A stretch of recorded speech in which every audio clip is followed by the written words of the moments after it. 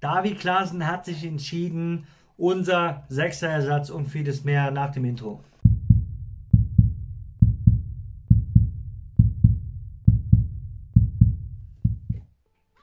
Ja, Leute, erstmal schön, dass ihr wieder eingeschaltet habt. Ähm, wir haben heute drei Themen und das erste Thema ist auch das spannendste. David Klaasen.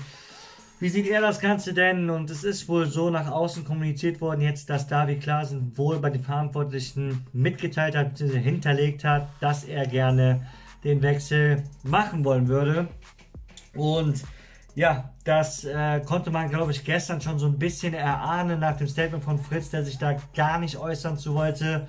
Also ich meine, wenn er dem Gerücht nichts dran gewesen wäre, hätte er sowieso sich geäußert. Und äh, ich glaube auch, dass wenn Ajax ein Angebot äh, abgegeben hätte, aber Klaasen gesagt hätte, nee, ich will auf jeden Fall bei Werder bleiben, hätte Fritz dazu auch was gesagt. Äh, jetzt ist es aber auch, wie gesagt, nach außen hin bekannt geworden, dass Klaasen sich da dementsprechend positioniert hat, dass er denn diesen Wechsel zu Ajax auch gerne machen wollen würde.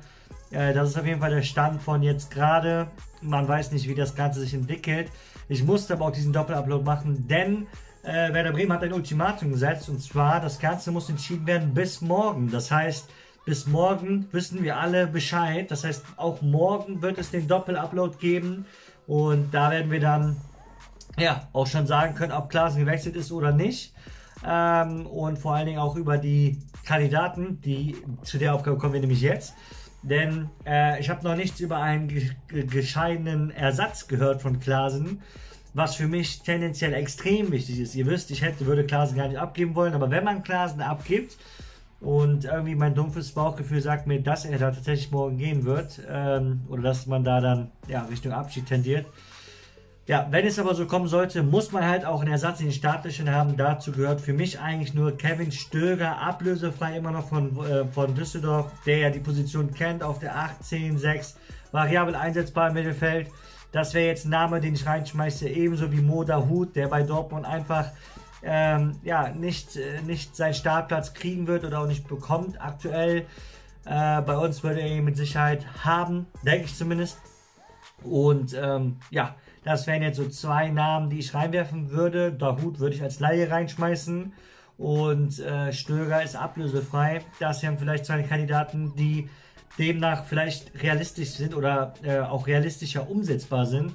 Und jetzt habe ich eine Aufgabe an euch, denn ihr schreibt bitte Leute rein, die auch realisierbar sind, die ich mir anschauen kann bis morgen, bis äh, das Ganze dann als Statement rauskommt. Äh, wenn natürlich morgen kommt, Klasen bleibt ja, dann können wir das Ganze auch äh, so nochmal andersweitig besprechen. Ich glaube, ähm, dann sind wir auch alle ein bisschen beruhigter. Aber wie gesagt, es sieht halt jetzt gerade wirklich nicht danach aus, dass Klasen bleibt. Hätte ich so auch nicht gedacht, gerade jetzt so in der Schlussphase Transfer, Transferperiode. Aber gut, ist halt jetzt so. Und jetzt noch das dritte und letzte Thema. Ähm, ich habe gerade eben ein Video hochgeladen, mein eigenes Format. Ihr kennt es, Werbe oder Strafe, oder die meisten von euch kennen es.